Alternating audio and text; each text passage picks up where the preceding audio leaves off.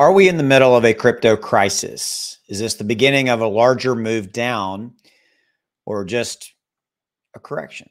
That's what we're going to talk about in this video. Going to give you some insight into what is going on right this second. You need to know, you need to understand why crypto is down, the overall market down north of 4 plus percent, continues to move down more today. Uh, we're going to take a look at Bitcoin, Ethereum, and the overall market conditions, as well as look at a specific reason for what is going on.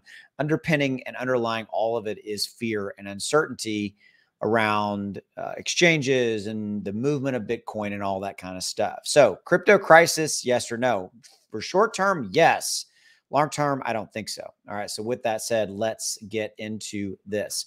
So, as I mentioned, right now, crypto moving down about 4.8 plus percent as of the recording of this video market cap at 1 trillion 130 billion and change. And you've got bitcoin and ethereum moving down uh, about another two points from earlier today. Bitcoin and ethereum were respectively down about three points. Now we're touching on those 5% range uh, down scenarios. And the largest move down in the top 100 is obviously Pepe. Uh, Pepe moving down about 37 plus percent, moving uh, to the number 64th position.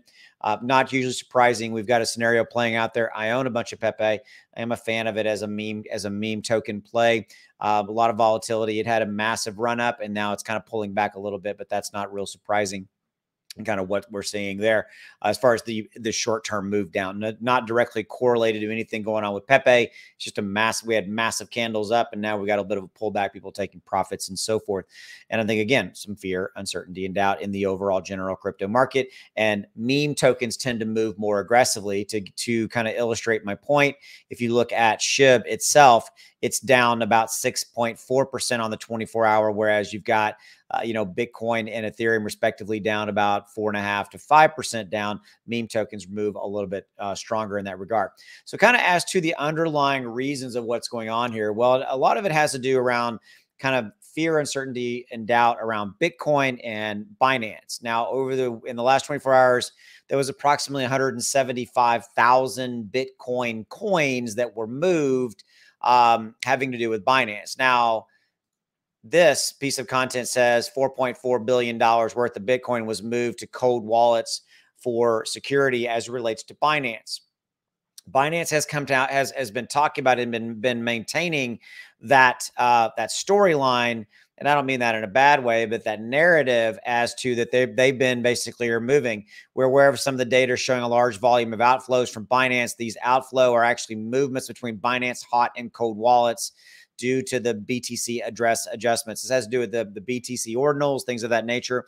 Uh, but but regardless, a tremendously large amount of Bitcoin is being moved. Again, 175,000 coins, four point plus 4.4 plus billion dollars worth, as well as you add into this scenario um, in the last 24 hours. Um, Bitcoin trading on Binance has been stopped, halted three separate times. Fear, uncertainty, doubt. That's the narrative. And when you have the largest global exchange, that spooks everybody when the, the Bitcoin on uh, the trading on Bitcoin spot trading was halted three separate times. Okay. And so, crypto crisis, I don't really think so. I think we just got a scenario playing out here where we've got these different components at play. Short term opportunity, if you want to lock in some discounts to basically go out and pick out some of your favorite cryptos, I think you're going to see, you know, some continued uh, discounts, if you will.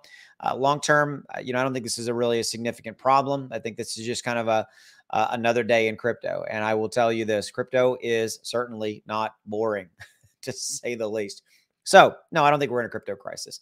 I think uh, crypto prices are moving down because of the reasons I just gave you. Uh, you got fear, uncertainty, and doubt. Meme coins are kind of leading the charge as far as percentage move down.